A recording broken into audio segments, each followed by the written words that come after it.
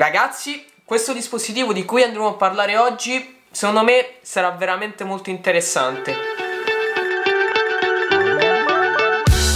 sì ragazzi, benvenuti in questo mio nuovo video che non è propriamente un video rumors perché andremo a parlare solamente di un dispositivo in particolare che sicuramente avrete già letto dal titolo, ovvero l'iPhone SE 4 Perché ragazzi voglio parlarvi dell'iPhone SE 4? Beh perché secondo me sarà effettivamente molto interessante molto di più rispetto ai modelli precedenti Perché sì, ormai lo sappiamo tutti, l'iPhone SE 3, 2 e in realtà l'1 no perché era simile all'iPhone 5S Però ecco gli ultimi due modelli di questa serie di iPhone che dovrebbe essere in teoria, molto in teoria la serie economica di iPhone Perché oggettivamente è più economica de degli iPhone classici però costa comunque tanto e secondo me il prezzo è sproporzionatissimo all'offerta perché tu non mi puoi far pagare quasi 600 euro un iPhone che ha quelle caratteristiche. Per quanto mi riguarda eh, questa è una mia semplicissima opinione poi ci ho fatto anche già altri video sull'iPhone SE. Sapete quello che ne penso? Penso che sì va bene tutto il discorso del fatto eh ci sono quelli che sono abituati al tastino home eh sono quelli, ci sono quelli che non gliene frega di avere il display OLED o quelli che non gliene frega di avere il Face ID quello che non gliene frega di avere tre fotocamere avete ragionissima va bene tutto. Però ragazzi secondo me serve anche un po' di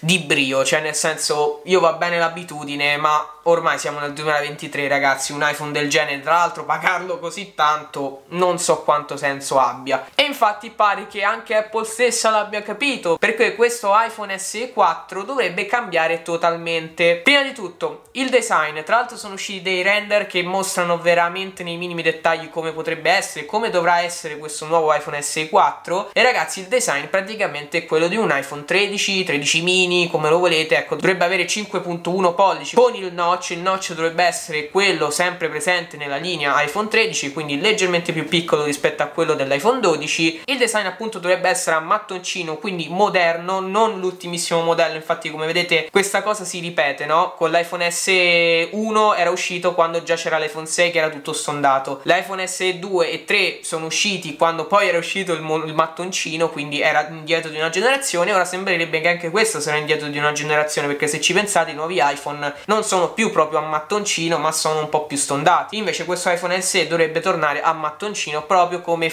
abbiamo avuto fino alla serie iPhone 14 dovrebbe essere anche abbastanza colorato nel senso dovrebbero essere rilasciate delle colorazioni abbastanza vivaci non tutte le colorazioni che abbiamo con gli iPhone quelli non pro. Quindi non, non vi aspettate un iPhone SE rosso, giallo, verde di tutti i colori disponibili. Due o tre colori sicuramente il nero il bianco e poi magari faranno che ne so un blu, un rosso, non lo so. Dovrebbero esserci un po' i soliti colori a cui Apple ci ha abituato. Dovrebbe avere poi la USB-C perché ragazzi non è tanto per una scelta di Apple perché sono sicuro che Apple potesse metterebbe ancora il Lightning su questo iPhone ma semplicemente perché è obbligata dall'Unione Europea di mettere appunto la USB-C quindi sicuramente avrà la USB-C ma sicuramente anche non sarà ovviamente Thunderbolt ma sarà quella castrata del 2004 tipo ecco. Quindi insomma non vi aspettate nulla di straordinario semplicemente la forma della USB-C dovrebbe avere poi una singola fotocamera che dovrebbe essere abbastanza di qualità. Anche qua non vi aspettate la qualità dell'iPhone 14 o dell'iPhone 15 secondo me sarà più o meno la fotocamera presente su un iPhone 12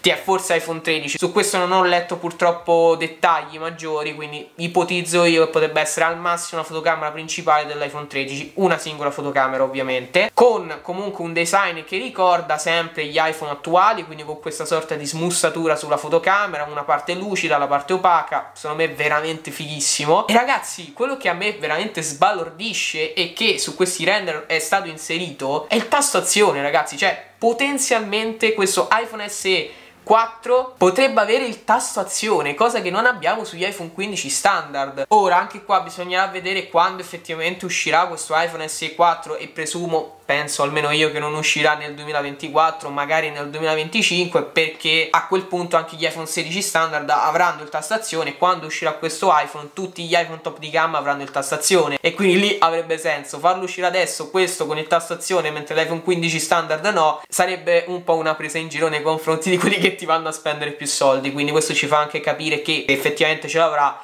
non sarà un dispositivo nel rilascio imminente. Cosa più importante che mi sono scordato di dirvi quando vi ho parlato del notch è il display. Il display dovrebbe essere finalmente un OLED, non più l'LCD con il tasto home a cui ci eravamo abituati, un tutto schermo OLED. Anche qua tanta tanta roba. Quindi insomma ragazzi questo iPhone SE dovrebbe essere spettacolare per quanto mi riguarda e non nego ragazzi che io come muletto, come secondo dispositivo me lo comprerei poi ovviamente non lo farò perché quei soldi li potrei spendere in cose un po' migliori, ecco. Però io come dispositivo secondario questo lo comprerei, lo consiglierei veramente a tutti, alle nonne, alle mamme, ai figli che vogliono prendere il primo telefono, a tutti quanti. Poi ovviamente bisognerà vedere anche il prezzo. Io presumo che se Apple ti fa un iPhone del genere sicuramente il prezzo aumenterà ovviamente dentro non ci sarà l'ultimo chip disponibile. Ovviamente dentro non ci sarà il chip dei Pro. Probabilmente ci sarà il chip disponibile in quel momento per gli iPhone standard. Quindi non lo so magari l'A18 standard non lo so. Vedremo anche qua se ci saranno maggiori dettagli in futuro. Però ecco in generale se il prezzo non dovesse superare i 600 euro questo secondo me è l'iPhone da comprare assolutamente. Se invece dovesse andare un po' oltre i 600 euro già 680 allora lì già non so se ve lo consiglierei, se, cioè se lo consiglierò quando uscirà perché potenzialmente potreste trovare gli iPhone un po' più vecchiotti ma comunque super moderni a un prezzo molto paragonabile. Quindi ragazzi che sia finalmente la svolta dell'iPhone SE speriamo ragazzi speriamo perché attualmente io non, non, non riesco a dargliene un senso. Io all'iPhone SE non riesco a darne un senso l'ho provato anche scorso anno o era già il 2024, onestamente non mi ricordo, però ecco l'ho provato, era quello di seconda generazione ma più o meno siamo come quello di terza. E ragazzi io non riuscirei a utilizzarlo come dispositivo principale, voi direte eh ma tu sei abituato, è normale, cioè metti uno che magari viene da un iPhone 7, sì ragazzi ma io quello che, allora io vi, vi domando una cosa, tu persona che hai acquistato l'iPhone 7 nel, al day one, mettiamo caso, vuoi cambiare dispositivo, ma non ti viene voglia un minimo di cambiare, cioè non ti stanchi ad avere sempre il solito iPhone iPhone che praticamente è quello, cioè da un iPhone 7 a un iPhone SE il phone factor è quello, sì, vedrai un po' più di velocità, ma anche lato fotocamera non è che fai un salto incredibile. Quindi boh, cioè io onestamente mi stuferei ad avere lo stesso iPhone per 10 anni consecutivi. Poi non lo so, vedete voi, magari sono io che faccio dei ragionamenti senza senso e per carità ci sta, però boh, io non...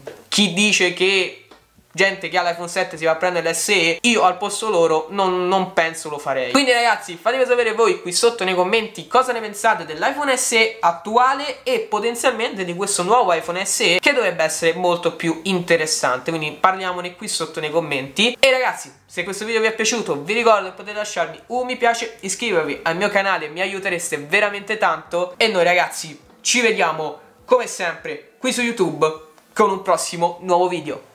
Ciao!